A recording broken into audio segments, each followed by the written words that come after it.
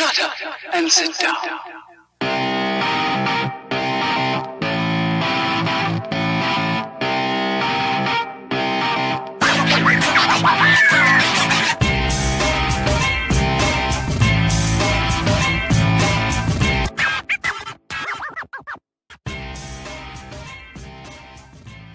What's up, guys? This is Takeover Tuesday, episode three. My name is Carlos Redlich, and I got David Allen on here also. What are we doing, man? How you doing today? Hey, how's it going, Carlos? Uh, good to be back for episode three. We're going to talk about uh, some video tricks you're going to let us know about, uh, how you take over the world on YouTube.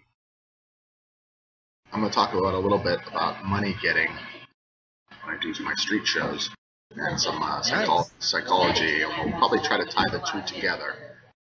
Yep. So take it away, man. Tell us tell us how to take over Well- the on YouTube. Yeah, yeah. I mean, there's there's so many things with video, you know, and really, uh, I I don't want to. I'm not going to make it too complicated. I'm actually going to try to make this as simple as possible, so everybody can just start using it. So one of the, the ways I take over YouTube is finding a keyword. Right now, everybody, this isn't really SEO type. I'm not an SEO guy or anything. Right. Um, but one of the things that you want to do is let's say you're a plumber in Miami, right? I always just use basic examples. So we'll just say you're a plumber in Miami and your keyword is plumber Miami. Well, instead of doing like uh, you know, trying to rank a few videos that are really good and really high quality to the top, what I found is a lot easier is to create like let's say 20 different videos and Right. then replicate those videos. And there's a way to do this in the properties of the videos. You can basically change the description and shit and uh, re-upload videos to YouTube. So eh, when you get 20 videos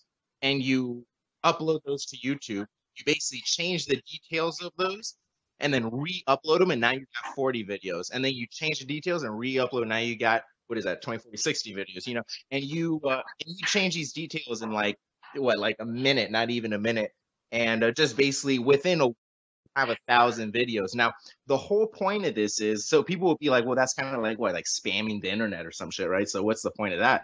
right. Well, the point of it is, uh, and this works across so many different industries. If you're the only person seen, then you're basically competing against yourself. I mean, whether they like this video or they don't like this video, the next video they choose is going to be you if you've got thousands of, you know what I mean? So Yeah. it really doesn't fucking matter. Now, there's a there's a little caveat to that. So uh, depending on what you sell, I would say you want to deliver more value. So, like what I'm doing now in uh, copywriting, it takes it's taking me more videos to try and dominate certain keywords, just because the market's so big, right? So that's what you'll kind of figure out, and there's little tweaks you can do and shit uh, to like speed that up. But with certain markets, it's a lot better to do, let's say, 50 content videos that are like 5, 10, 15 minutes long that are really teaching and then duplicate those videos. So at least all the, you know, quote unquote spammy videos are at least really good, rich content that people are gonna like. Now, if you're selling uh let's say a software or something like that, that's pretty straightforward. You can Right. do those like like I used to do them for uh, one software. I'd be like, hey, uh, thanks for watching this video. Check out the link below, and you're going to be able to get, you know, and and I'd list the three or four benefits of what you're going to get with the software. Out that link below, and it's like a 10, 15 second video, but I would have millions of them, you know, and that's how I built one of my software businesses to over four thousand a month, and that's how it was, you know. We started Right. doing like crazy arbitrage or shit like that. Okay. So yeah, so I mean that's so one one takeaway that you could do is if you're it, it doesn't matter if you're in a local market or in a broader market, just find the keywords, you know, like find the top keywords and then think for every one of those, you're gonna go ahead and attack each one. Okay, and here's actually one I forgot to mention, like one of the most big fucking parts. Terrible. Um when you're uh, when you're naming your videos, it's very important to name the title, the it- the title and the description especially, but the title most importantly, the actual keyword you're going after. So, uh, for example, like I said, if you're going and if you're a plumber Miami, you're trying to dominate YouTube for plumber Miami, make sure every one of your like thousand videos, plumber Miami hyphen, you know, how to get a plumber, and then the Right. next video, plumber Miami hyphen, how to find whatever, and, you know, and every single one of them starts with hyphen. Um, and that's a really quick way. Now, there's better ways. Now, if you're able to, if you have the time, I usually don't do that. I just do what I just said because it's faster and it'll still rank you. But if you're able to include the keywords of plumber Miami in a uh, and you change like instead of doing that format plumber hyphen Miami whatever, you change every one of your thousand videos to a custom title that just includes that. That's better. Um, but if you're like just don't have time to do it, you just want to upload a thousand videos in like you know ten minutes or set them to upload at least, and uh, then that's just the fastest way. You can even go into YouTube default settings and uh, and set all the defaults up so you do as minimal work as possible and basically just keep re-uploading those. Wow, cool, man. That's excellent. That's a really good tip. I think. Yeah, it's really huge. Not a lot of people. I've been talking about it, but no one really does it. So I think they just when they hear a thousand videos, they think they get intimidated. But it's not though. I mean, if you do 20 videos, 10 videos, 100 videos, whatever that are customized, and just rep those, and each time you upload, you're uploading like a hundred, and then you know what I'm saying? Like it's Yeah. crazy. No, that's true. It's true. Yeah, you just have to slowly build up your little uh, cache of videos, and then just and then get that solid base, and then just Yeah, change, I mean, one, Mike Phoenix had a a great formula that that I kind of model after too. It's that 10, 10 by 10 by 4 question or something. I don't remember the full full thing, but basically you you do 10 frequently asked question videos and then 10 should ask question videos.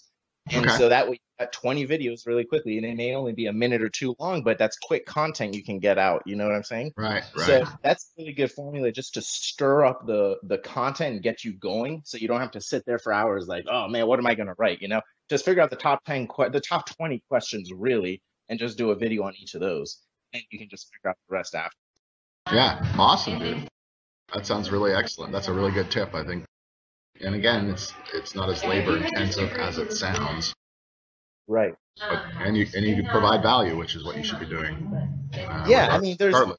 exactly. It's just I, I think the word is arbitrage, but I'm don't I'm not really sure. I don't know what it is, but it's just the pure takeover, just like our show. I mean, it's just really taking over the that keyword. And if you're doing that across, you know, six or ten keywords that are really searched, and you're the only person. I mean, imagine once I get to the top of copywriting and all you type in on YouTube is copywriting.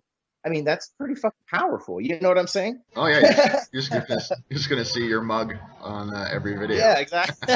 People, yeah, and and the best part is Cardone talks about it. I think it's now more popular. Everybody wants haters now, just because it's kind of like a fad. Like if you Right. don't have haters, you're not cool. I don't think now. So I think the better, uh, the best thing is obviously there's people who are going to be upset with you because you're knocking. You're literally. I mean, I don't necessarily believe in competition, but if there was competition, you would dominate them because you're going to take over their YouTube placements Right. and uh, it's just going to cause a little bit of trouble. But if you don't really care because those people aren't paying you anyway, and Right. unless you're doing JVs and maybe you work something out, then fuck it. You know what I mean? yeah, yeah, yeah. Going to promote you and say you're an asshole because blah blah blah blah blah, and then more people are going to want to find out if you're really an asshole, then stumble across your products and services, and you know maybe test you out, and you'll end. It's the best way. I've actually had that happen. People say, you know what, I heard bad things about. Uh, this former product, and I wanted to test it out for myself. So I, just, you know, and I'm like, well, that's great. Yeah. No, I think you're I think you're right about that. I mean, it was I think it was P.T. Barnum who said there's no such thing as bad publicity.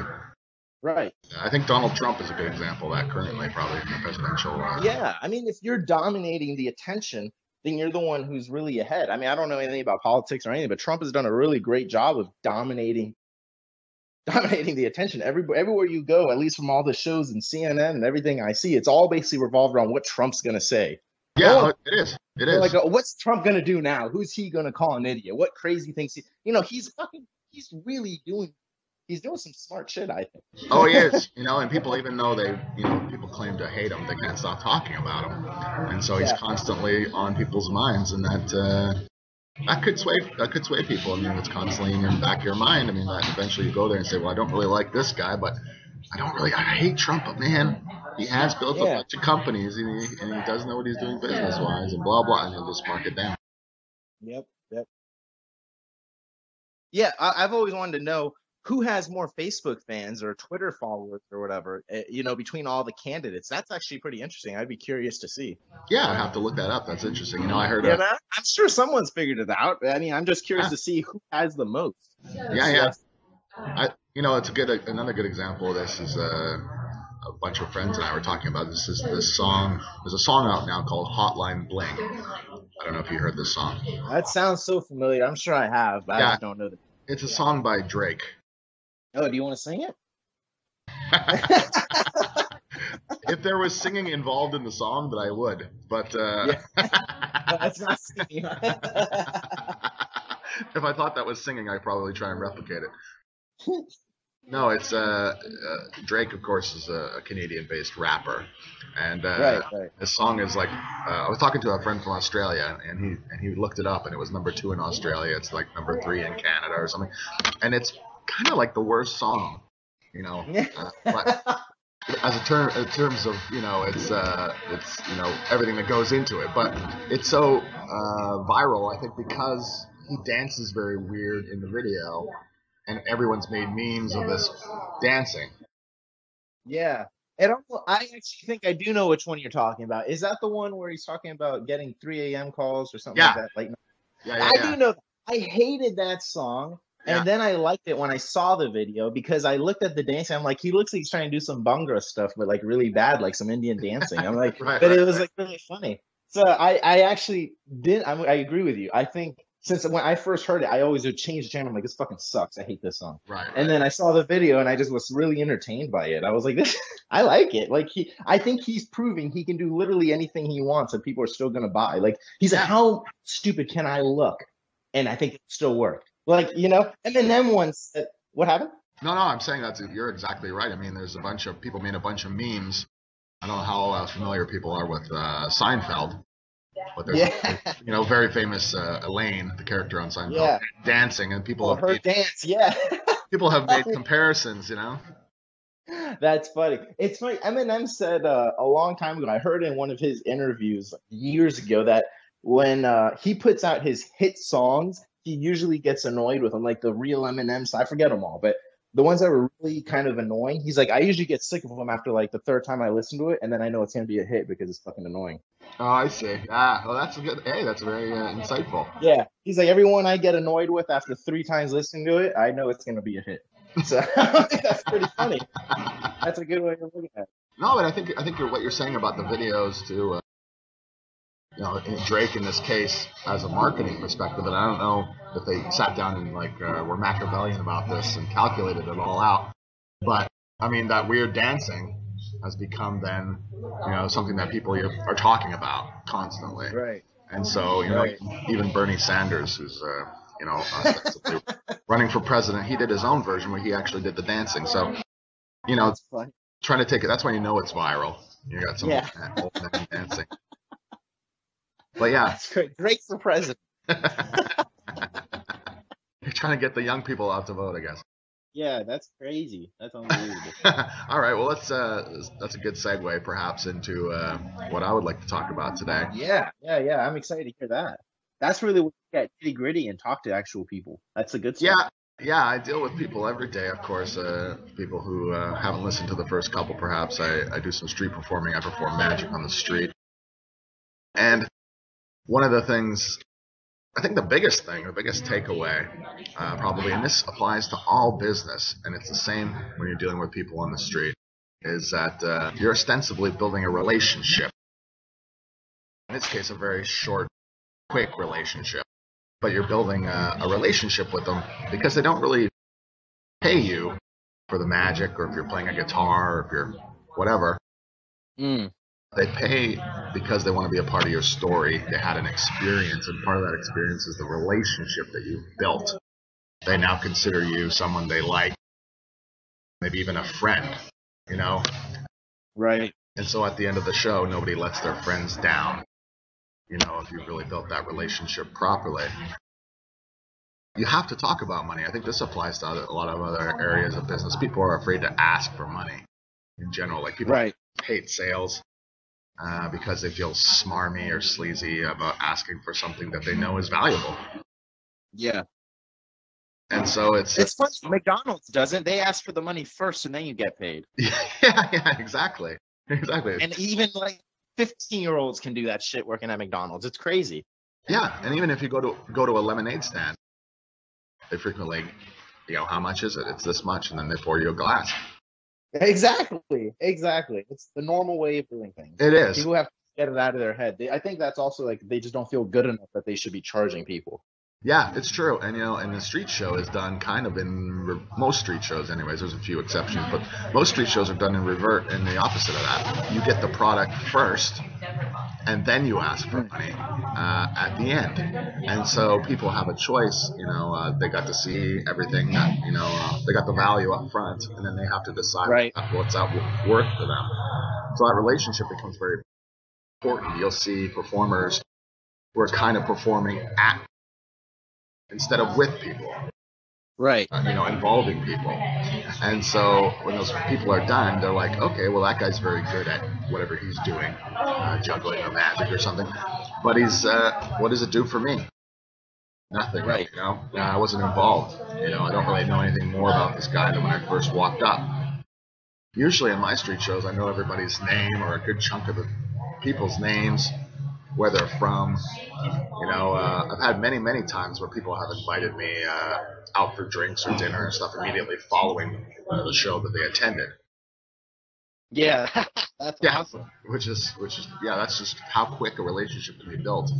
You know, and people uh, giving me their contact information in other countries and stuff. You know, and really, I just do, I do about, you know, I do about 15 minutes, and so you built this quick 15 minute relationship where people saying, if you ever come to Australia, you know, stay with us. Here's our contact information. Yeah. and that, and that you know, the, you know, those people aren't going to let you down uh, tip wise. Uh, but you have to, but you have to mention money. That's an, that's the other aspect. You have money has to be brought up. Now, most street performers have what they call a speech. They do what they call a hat speech or a money speech, where they sort of, uh, it's like a break in the show, where they talk about how nobody, like the city didn't pay to have them out here. You know, it's only the uh, kindness and generosity of the attendees Right. that are going to donate at the end of the show. And they do, you know, some of them, some people play a little melancholy heartstrings, you know, uh, in speech. Other people, are, other people are more hard-edged, you know, kind of pushy, salesy type uh, ones. But the problem you often run into is that is that uh, you're breaking the show. You're breaking out of the show and then back into the show for the finale. You usually do it right before the finale, and so uh, that makes it tough because you kind of have you kind of uh, step out of the show for a second, which breaks the Right. continuity of the show. And then you try to win them back, sort of. You try to get back on track. Uh, there's really only one guy, and of course I haven't seen everybody in the world, but there's one guy in particular in New Orleans who's a friend of mine. He used to be a pitchman. Uh, he would travel around and make his whole living, you know, essentially selling you know, at carnivals and fairs and stuff like this. And his show is structured completely differently. His show is structured like a pitch, so it's stru- structured like a sales pitch. So it's all contained within uh, the actual show. He doesn't ever do a speech, and he never breaks character. And yet, all Right. the information is all sort of woven uh, into the fabric of the show, where he still gets that message across, and yet he doesn't have to be this awkward, like, uh, "Hey, you need to give me money at the end. Nobody pays me to be out here." of Yeah, that's what I was thinking. I was like, why don't why don't people just weave it in? I think that that's that's on the money. I mean, if if you can weave in the talk about money into your show, then that's I mean, it's still entertainment. You're still being outright, but you're not kind of being desperate either. You know, no one likes being desperate. Yeah, you know, when I when I got into copywriting, and started doing copywriting and stuff, it sort of dawned on me, and I, and seeing his show, this guy, uh, my friend Warpo, he, he uh, when I saw his show and, and saw the history of his how he arrived at that point, it reminded me a lot of copywriting stuff because there's little tricks and stuff he's using in there uh, to communicate the amount of money and stuff he wants right. too. So he'll include talking about things that have uh, you know fives and five and ten, the numbers five and ten and stuff like that.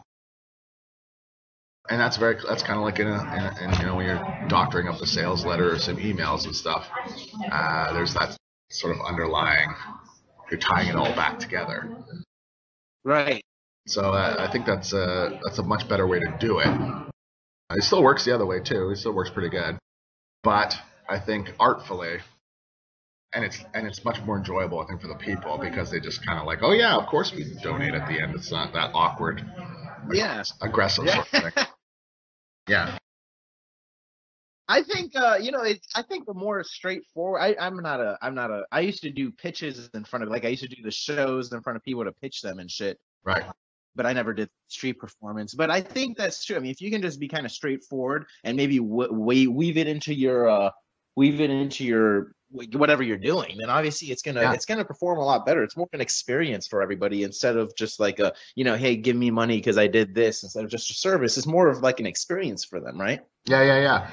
It's uh, it's funny because when I see, you know, I've seen all different kinds of acts, and the like a breakdance act, for instance, of what breakdancers, they frequently ask, they collect the money before they do the finale usually, which is you watch you watch them and and uh, there's usually many members of the breakdance team, so Yeah.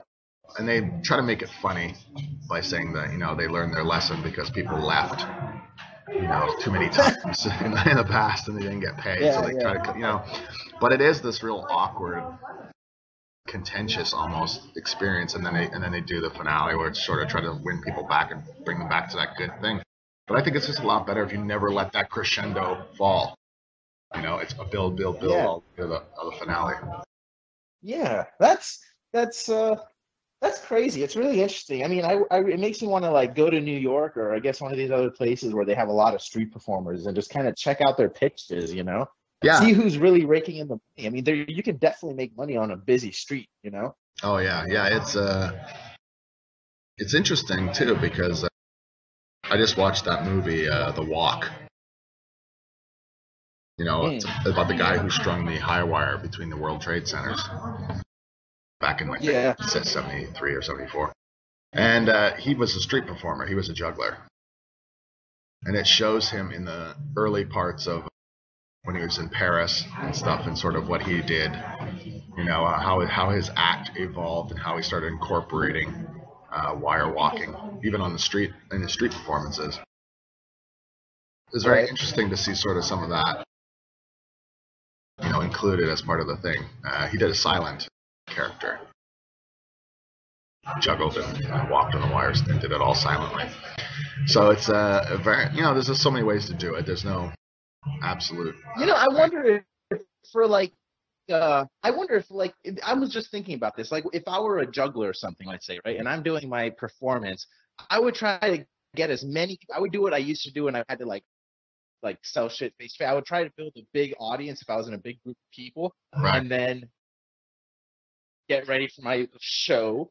And then after I do my show, I would just say, Hey guys, thanks so much for all of your views or all of your whatever. Thanks for watching me. I've got a $10 donation going on. And if you donate, you also get this free book and this CD that shows you exactly how to do what I just did.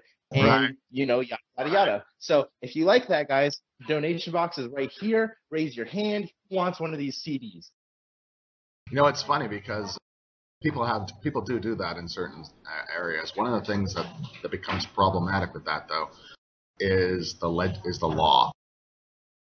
Ah, As a, as a street performer, you're allowed to take donations, but if they believe you're soliciting for a product or something, you then become a vendor, and then you fall under different laws. yeah. So you- that's why you got to tell Yeah, this is a donation as a for your ten dollars specifically ten dollar donation. yeah, yeah, yeah. Um, you get this and whatever. That's why the We art, don't take donations. Yeah, that's why the art, yeah, exactly. That's why the artful stuff works better. There's actually places where you're not allowed to talk about the de- denominations. There's certain Hmm. cities where you're not allowed to actually mention what you want. You know, it's completely open. But what people will do, and I'll give a shout out to my friend Bobby because he's kind of uh, Bobby from uh, Kentucky because he's kind of kind of guy that would do this and has done this. He would say instead of not asking for certain denominations, he would say that he can't ask for certain denominations. So if you're not allowed to ask for it, you would say, "Hey, I'm not allowed to ask for fives and tens out here, or twenties, you know, because they won't let me." You know, which is kind of a funny Yeah. way of circumventing the rules. But, but I'm going to drop this hat on the floor, and if anything seems to fall into it, you know, I appreciate it. yeah, exactly, exactly. fucking right. awesome. Yeah. so it's it. I interesting. it. I think that's Yeah, it's very funny to see that sort of different when you travel to different cities, what the right. relations are and what uh, what they let you do and not or try to let, not let you do. Yeah. I mean, it's all sales. It- it- the is. best thing is that the people who are able to do stuff in front of others, I think they learn the fastest because you actually get to see the person's face and how they react when you ask for a pitch or a sale or whatever it is. You know, like you actually get to see that and see the motion behind it instead of just trying to figure it out through data and statistics. You know what I mean? Oh yeah, So those guys have, yeah. I mean, if you're in front of anybody, you've got a better chance. I've always told people that if they're trying to get a, an understanding of what their current customers are like, because sometimes you know you've got a big customer list if you're like an info marketer or something, but you've got different types of people on that list. You don't know exactly what your client or what your customer looks like. You're trying to get a good idea of what the avatar is. I've always told people get your phone and call like a hundred of those people and just interview them for like five minutes and just get an idea of what they thought of your. I mean, you'll get a. I mean, you have all the other ways of doing it also, but you get a real understanding of who your customer is if you actually get to talk to them, if you get to see them, and even better, you know.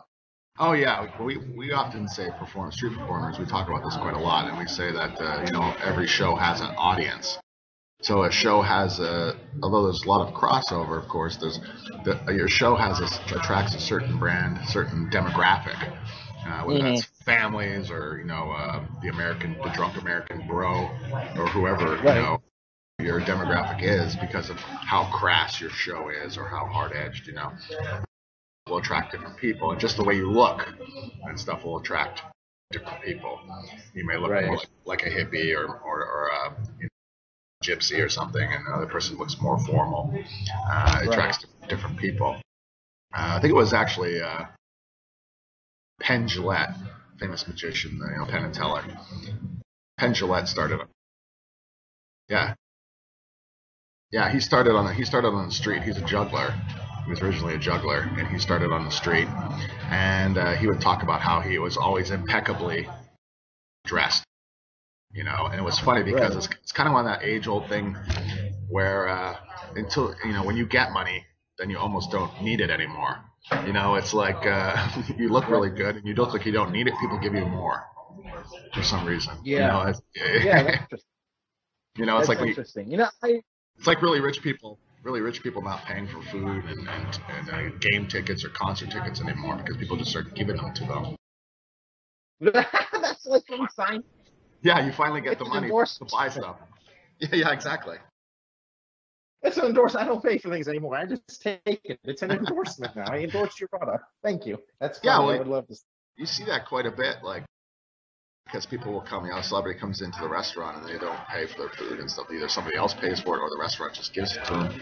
It's like you finally attained a level of success and you got the money to pay for all this stuff, and then you don't need it anymore. I, I don't need to. yeah, Yeah. exactly. That's the way the world. That's the way the world works, you know. Yeah, that's pretty funny. That's true, though. I didn't really think of it that way. That's true. Yeah, it is what it is. You still gotta go get it. All right, so let's uh, let's wind this down. Maybe we've got some good uh, takeaways. I think people like uh, the one I think from my my end of things is like you want to create a, a relationship with no matter what kind of business you're in. It's all based on you know it's all based on relationships. That's why those deals are done on the golf course and uh, and over a cold beer, and not necessarily you know uh, across a desk or something like that. So it's always uh, we talk about the street shows always being about the audience, uh, their experience. You know, they're leaving with something, and that's why they're going to tip you. Think about the person, the customer's experience. There's so many companies out there whose uh, customer service and or website or whatever it is is such a a hard thing to get through right. that it that it costs them sales and so forth like that. So you want you want to leave them with, with that experience. Yeah. Absolutely. The Make it easy. is everything. Yeah, make it buy easy. Starbucks for the experience. Yeah, absolutely. What about uh, in, in regards to some of your video uh, domination things, Carlos? the biggest takeaway really with that is you just got to set your mind on what you're going to take over if you're going to do some like video domination type shit is it local marketing or is it a big keyword like you know gas or like a crazy keyword or some shit that's really broad, then it's just gonna you're gonna have a few more things like how many views, how many subscribers you have, a few other little things to it. But if you're going after an audience that is, I mean, copywriting is is somewhat broad, but it's still kind of narrowed down to a lot of the other keywords. The biggest thing I would do is upload like a thousand videos for one keyword and make that a minimum. And remember, you don't actually have to do a thousand videos. You just got to do like 20 or Right. whatever, and then duplicate those and or duplicate those and then uh, re-upload those. Yeah. And um, name the keyword and the title for every single one. Na- put a one or two sentence description uh, with the link to where you want uh, them to go, Right. and uh, and make sure that keyword is in the link, and that's it. And then just and just upload a and that's the biggest takeaway. And you're gonna start seeing results. Absolutely, man. Great takeaway. That's uh, excellent. I'm, I'm eager to see somebody. Uh, in fact, I'm going to do this myself. Hell yeah! We can't talk about uh, next week. We're going to have a copywriter, uh, and I hope I'm pronouncing his name properly, Everett Farnell.